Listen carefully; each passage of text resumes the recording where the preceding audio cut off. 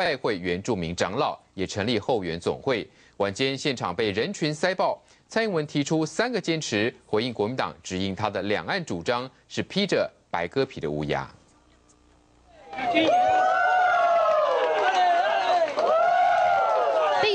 年轻人这样往空中抛，蔡英文毫不惊慌，始终面带微笑。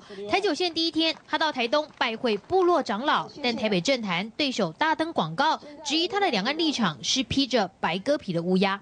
和平必须是基于三种三个坚持，第一个坚持就是主权的完整，第二个坚持就是民主的机制的尊重，第三就是中国。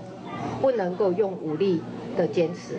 如果做一个总统没有办法让人民信赖，他能够坚持这三件事情的话，那他的和平协议就是一个大家感到不安、感到担忧的事情。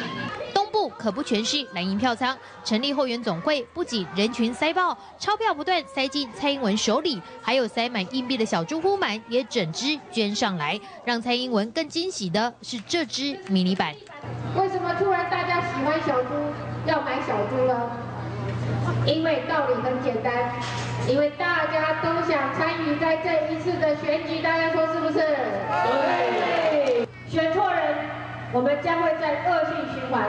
四年，选错人，我们这个社会将会越来越对立。这样的会花钱、没有效益的政府，只会拖垮台湾的财政。在台东，蔡英文还做了这样的承诺：，二零一二民进党的政府，除了花东条例四百亿的资金投入在我们的花莲台东的建设，我们将要再成立一千亿的资金，一个乡村发展资金。我们要鼓励我们的年轻人回到故乡来创业。台九线第一天，蔡英文与原住民博感情，要让后山也变天。